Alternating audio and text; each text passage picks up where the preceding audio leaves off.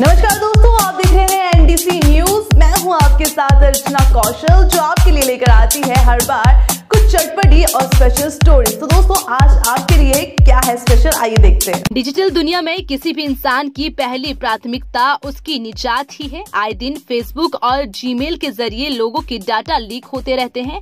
वहीं अब एक ऐसी ही खबर आई है जो वाकई हैरान कर देने वाली है।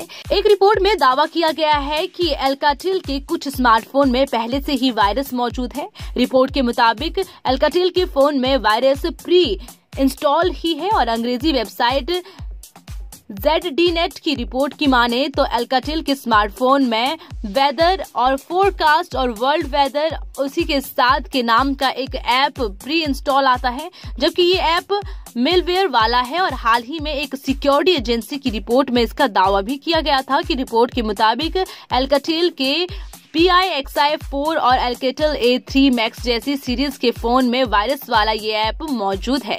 इस ऐप को टीसीएल ने तैयार किया है। अब स्ट्रीम्स सिक्योर डी की रिपोर्ट में दावा किया गया है कि ये ऐप स्मार्टफ़ोन की लोकेशन आईएमईआई नंबर और ईमेल आईडी जैसी जानकारियों को टीसीएल तक पहुंचाता है।